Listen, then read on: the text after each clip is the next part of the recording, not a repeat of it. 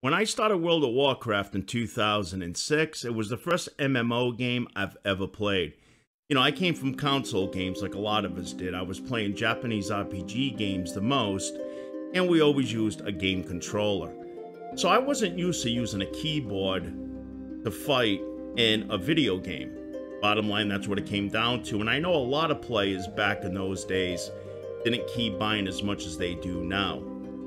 So I did realize that once I started to learn the difference between using keybinds and then clicking. Because clicking, it's difficult to always get those abilities off while you're moving. And seeing my main interest in the game has been PvP over the years, you really got to be on top of your game nowadays because players got so much better over the years. There's better add ons, we just have more experience now playing the game. But then I ended up getting something that really turned it around for me just in this past year, and it's been wonderful. And that's what I'm getting at in today's video.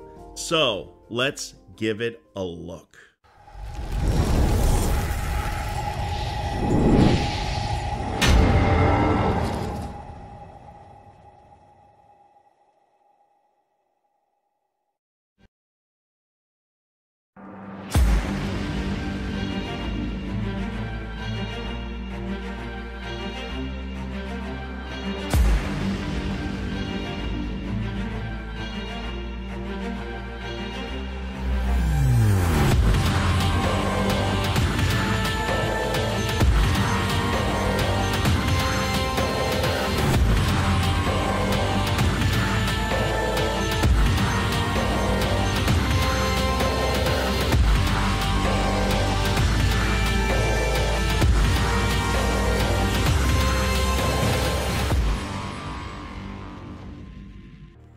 Hello folks and welcome to Wize Gamer, where in today's video I'm going to be demonstrating with some gameplay of using the Razer Tartarus V2 gaming keypad. But before we get started, remember to like this video, subscribe, and ring that bell notification down below for more awesome videos coming your way. It helps support the channel. The Tartarus also has 19 programmable keys that you could also macro using the software that comes with your keypad. Traditional keyboards, there's no way that you can macro a keyboard unless if a game like World of Warcraft has a UI setup where you could implement macros. But as we know, not all MMO games has the use of macros built within the UI.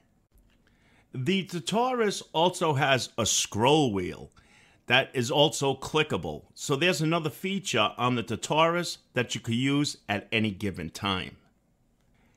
And then the Tartarus also has an RGB lighting system, which you could customize to the way that you like it.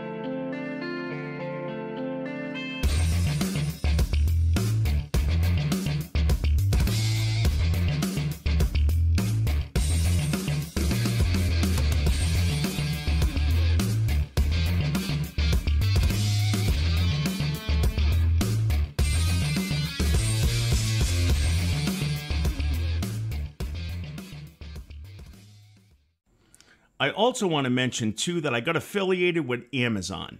So I'm going to be supplying the code in the description panel of today's video that you could click on that will take you to this product and get a $5 discount.